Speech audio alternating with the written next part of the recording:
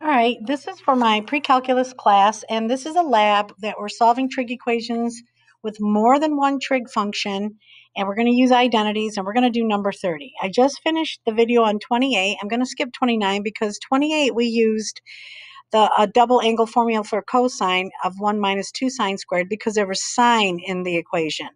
Up here, I'm excuse me, down here, this one has the same double angle, cosine of 2 theta, but it's got cosine in the equation. So when I bring up my reference sheet, notice cosine has three double angle formulas. This time I'm going to use the cosine squared one because I'm going to use number 2 because the rest of the equation was in cosine. All right, so let's go back.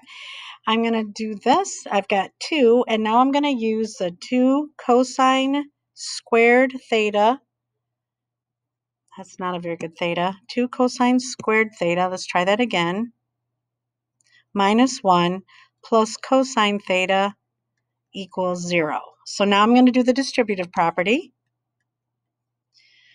When I do, I get 4 cosine squared theta minus 2 plus cosine theta equals 0.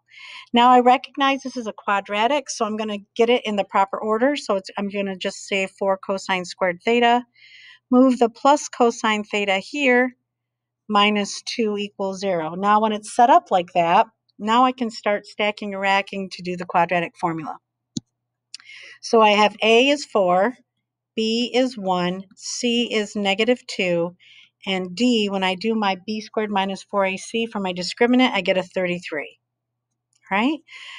So I'm going to do cosine theta equals negative B plus or minus square root of 33 all over 2a uh, or 8. So I'm going to extend this page a little bit.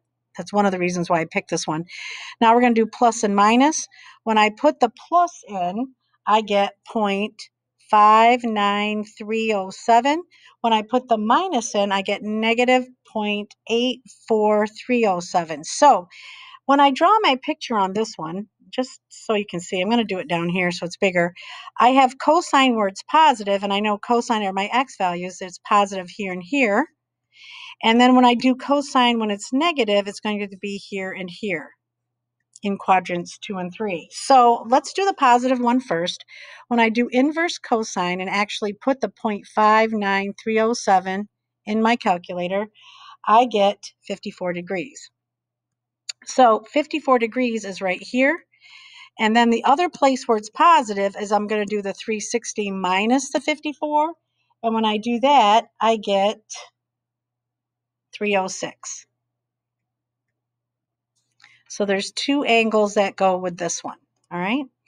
Now this is the negative one. What I want you to remember is I don't put the negative in my calculator. I put the positive so when I do that, I put that in my calculator. I'm going to get a reference angle for the negative ones. And when I do that, I get a reference angle of 33 degrees. But remember, it's my reference angle. It is not an answer. So in order for me to do this, here I'm going to do 180 minus 33. And when I do that, I get 147. And then I do 180 plus 33, I get 213 degrees. So let me put those here 147 degrees and 213 degrees. So there's only four angles here. Let me box them. I've got these two here and then I have these two here. Remember the 33 degrees was just there to use it to find the reference angle. Okay, I hope that helps you with setting this up.